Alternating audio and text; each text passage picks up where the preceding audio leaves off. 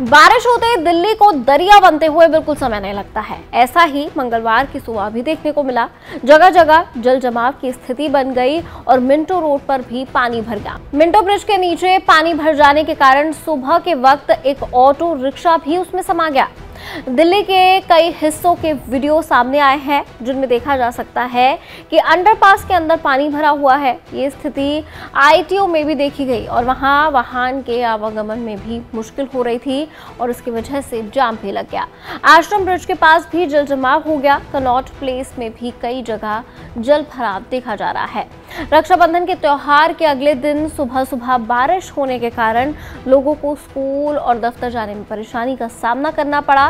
मौसम विभाग ने दो दिन पहले ही अपने पूर्वानुमान में कहा था कि अब राजधानी दिल्ली में हल्की बारिश होगी लेकिन मंगलवार सुबह से झमाझम बारिश हो रही थी।